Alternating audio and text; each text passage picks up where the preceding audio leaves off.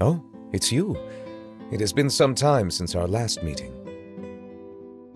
Few people frequent this location. Since I was able to conclude my work early for the day, I thought I might take a walk and avail myself of this area's peace and quiet.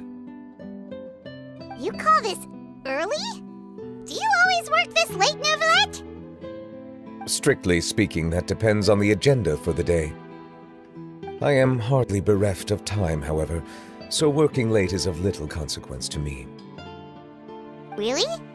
If you have so much time on your hands, then why did you only go to Qiaoying Village for half a day? Hmm?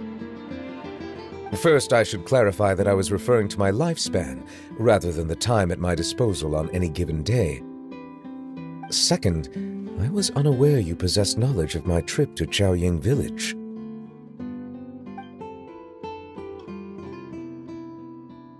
See. Thank you for informing me. Yes, they have been safely delivered.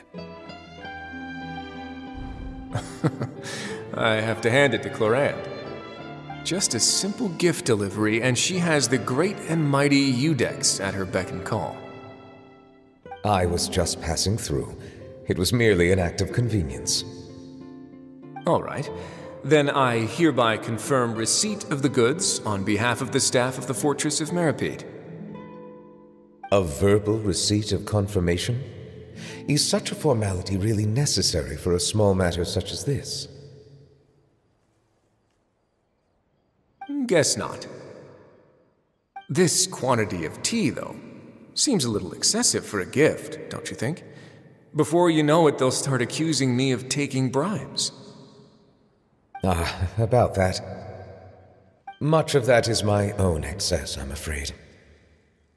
Oh? Why? What happened? It was buy ten boxes, get half off. Ah, that explains it then. Well, go ahead and leave them to me. I'll get through this stash as fast as I can. You have my thanks. Oh, there's something else I'd like to give to you. This is. a stone slate, engraved with a symbolic design. While that is an apt description, it is in actuality a legal codex. A legal codex, huh? Hmm.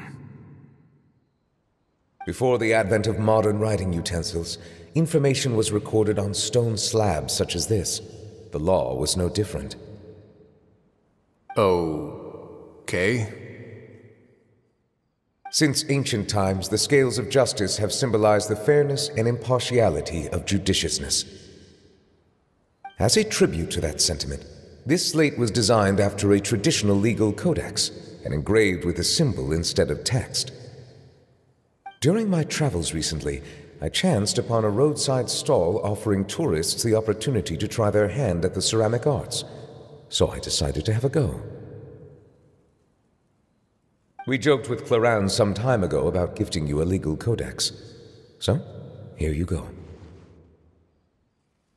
Ah, so that's what this is about.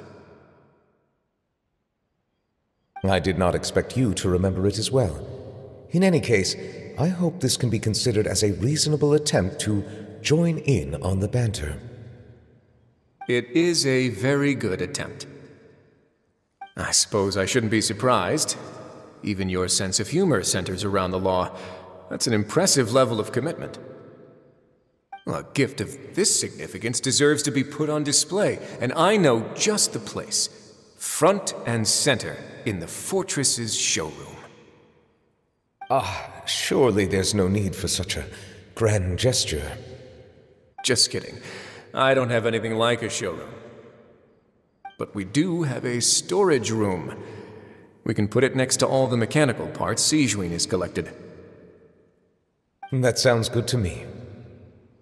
So that's what you were doing in Qiaoying Village. Indeed. Of course, while I was there, I also took the opportunity to taste the local spring water. The aftertaste is much purer than what I have delivered to me in Fontaine. It stands to reason that the long distance transport has a tendency to imbue the water with extraneous emotion.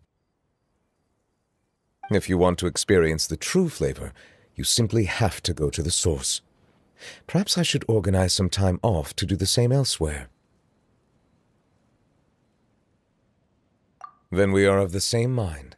It appears my desire is justified. If you say so, like, you know you don't have to justify a vacation, right?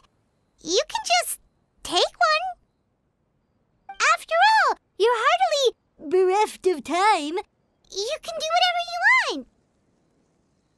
You're quite right. I suppose I suffer not from a lack of opportunity, but rather a lack of inspiration. However, after reading a few articles about Liyue's holiday traditions, the idea popped into my head and made itself quite at home. Seeing as I was free of responsibilities for the morning, I decided to depart at once. Refreshing. My spontaneous outing seemed to inspire quite a few other spontaneous decisions as well. Take, for example, my foray into ceramics. At first, soil from the ground is granular and unforgiving, but add the right amount of water, and it becomes soft, moldable, and able to take shape. In the past, I never thought about how quotidian vessels were crafted, but now I have participated in their very making. This is also something I made today.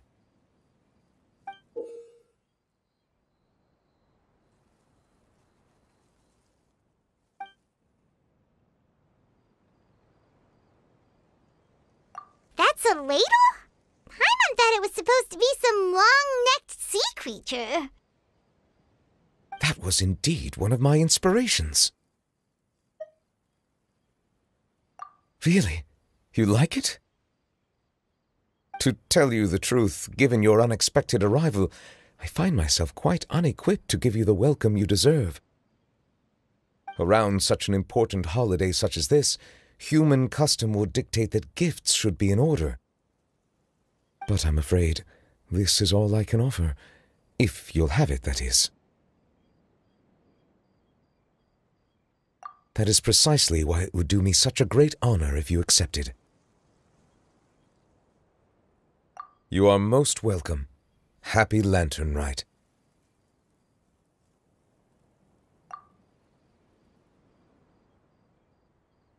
Hmm. Approve a leave of absence request for myself. That sounds like it could easily lead to a vicious cycle of self-indulgence, something which couldn't be in further violation of protocol. But I suppose I understand her point. My proclivity to refrain from personal outings does, in part, originate from a sense of responsibility toward my duties. But it is also due to a lack of desire to engage in the human world. But now I see that the human world is indeed full of many interesting places to discover.